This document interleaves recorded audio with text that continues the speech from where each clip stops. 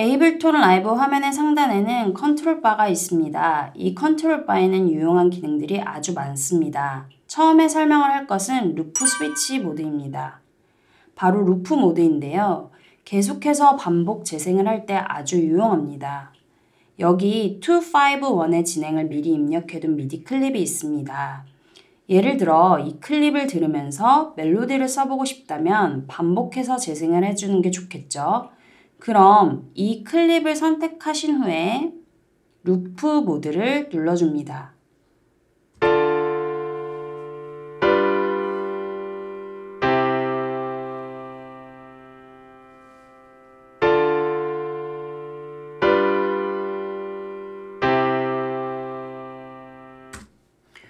루프 모드를 해제하고 싶을 땐 다시 한번 루프 모드 스위치를 눌러서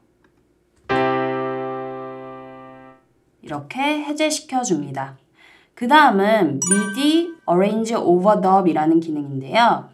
이 하늘색 피아노 연주 클립을 유지한 채 새로운 피아노 라인을 녹음을 하고 싶다면 이 버튼이 켜져 있어야 합니다. 녹음 버튼을 누르고 마스터 키보드를 이용해 새로운 라인을 덮어 쓰여 보겠습니다.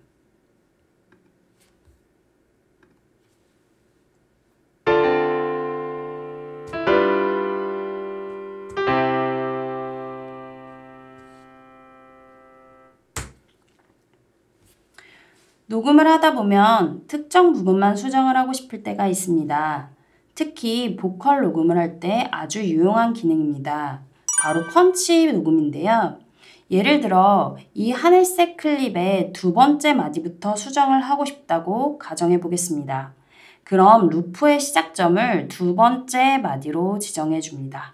그리고 펀치 인을 눌러 줍니다. 그리고 녹음을 시작하게 되면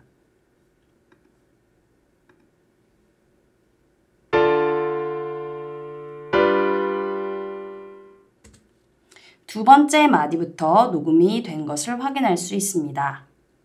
그 다음에 punch out 기능이 있는데요. 딱 두 번째 마디 부분만 수정을 하고 싶을 때 루프의 끝점을 다섯 번째 마디에 갖다 놔 주세요. 그 다음에 punch out을 누르고 녹음을 시작하게 되면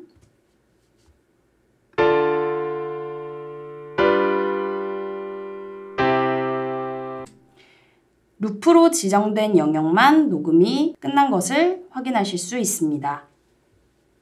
draw 모드 스위치입니다. 연필 모드인데요. draw 모드 스위치를 누르고 이렇게 clip view 안에서 노트를 찍어줄 수 있습니다. draw 모드 스위치가 눌러져 있지 않다면 그리드를 더블 클릭해야만 노트를 입력할 수가 있고요. draw 모드 스위치를 누르게 되면 그리드를 한 번만 입력을 해도 노트를 입력할 수 있습니다. 또 clip view 안에서 여러 가지 envelope를 그릴 수도 있습니다. 여기 clip view 안에 envelope 안에서 원하는 envelope를 설정을 하시고요. 이렇게 envelope를 자유자재로 입력할 수 있습니다. 단축키를 지정하는 key map 모드입니다. 에이블톤은 이런 map 모드가 굉장히 잘 되어 있는데요. 녹음 버튼에 단축키를 지정하는 방법을 설명해 드리도록 할게요. 우선 키를 누르고 transport의 녹음 버튼을 누릅니다. 그런 후 사용하고자 하는 단축키를 눌러줍니다. 저는 레코딩에 R로 설정할게요. 그럼 왼쪽 브라우저 화면에 key mappings가 보이고 단축키가 설정된 것을 확인할 수 있습니다. 키 버튼을 다시 누르고 단축키 지정을 끝냅니다.